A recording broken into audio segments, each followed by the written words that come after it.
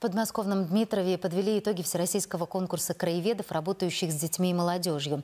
Награду получил и наш земляк, педагог дополнительного образования из Полевского Александр Непомнящий. Что помогло ему стать лучшим, выясняла Олеся Подольская. Него гигашки обжигает, также и ребята их обжигают. Это из полевых учебных экспедиций – вот эта посуда, которая реконструирована по древним технологиям. Путешествие во времени – это реальность, ведь все в твоих руках. Вместе со своими юными воспитанниками краевед Александр Непомнящий создает из глины точно такую же посуду, какой пользовались древние люди. Летом археологический отряд проводит раскопки на Урале, в Крыму и на Алтае. Надо видеть глаза детей, когда они вот впервые для меня обычную керамику находят, кричат «Александр Викторович, я нашел керамику!» Открытие.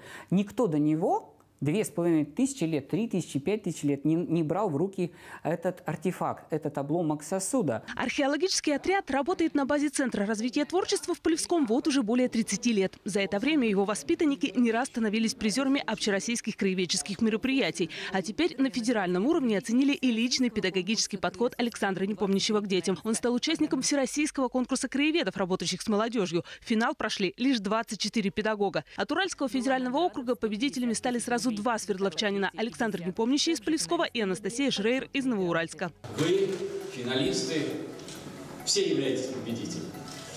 И вы представляете всю нашу бескрайнюю страну, Приз за второе место – 100 тысяч рублей. Но потратить их Александр Непомнящий хочет не на себя, а на любимое дело – развитие археологического отряда, который теперь просто обязан оставить свой след в истории. Это мой город, моя улица, моя Азов-гора, река Чусовая.